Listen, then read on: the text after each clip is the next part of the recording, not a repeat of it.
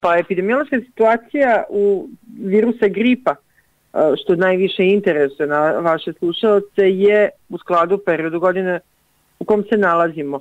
Trend oboljenja sličnih gripu i akutnih respiratornih infekcija je zaista u porastu, međutim još uvek nismo prešli onaj epidemijski prag.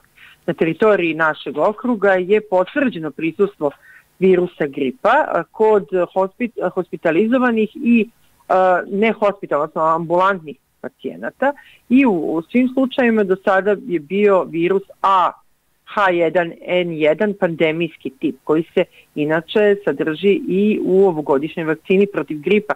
Tako da su osobe koje su a, imale a, mogućnost da se vakcinišu i to učinile blagovremeno, sada mogu da imaju bez bojazni a, da budu mirne. Ono što možemo da još kažemo je da nema drugih prijavljenih epidemija na teritoriji Sremskog okruga i epidemiološka situacija je uobičajena. Da li bi vredelo sada ukoliko bi neko želeo da primi tu vakcinu protiv gripa? Pazite, primiti vakcinu protiv gripa uvek vredi, samo je pitanje da li će biti brža naš prirodni imunitet ili pak uh, influenca. Jer potrebno najmanje dve do tri nedelje da bi se uh, isti posle vakcinacije stvorio. Budući da cirkulacija virusa gripa postoji, vero, velika je verovatnoća da će se osoba i zaraziti virusom gripa, ali u svakom slučaju da osobe koje su klimovog zdravlja, odnosno imunokompromitovane osobe i trebale da se vakcinišu protiv gripa, a naravno to svake godine blagovremeno savetujemo da se uradi kraj oktobra, početak novembra. Na koji način možemo sada da se zaštitimo, da ipak ne obolimo od gripa?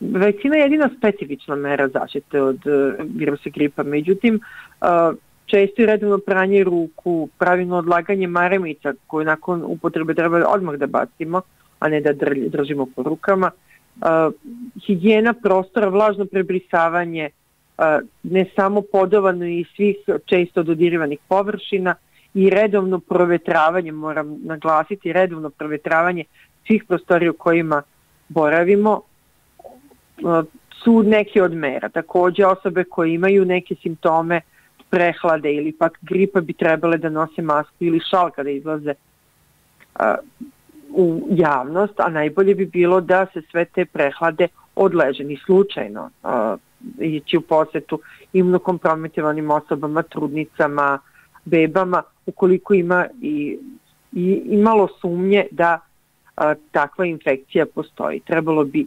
izbegavati osobe koje su već načetog zdravlja, bi trebalo da izbegavaju veće okupljanje, javne skupove, posete koncertima, a, većim nekim skupovima, većim rođendanima i slavnima. Jer na taj način smanjuju mogućnost da se zaraze.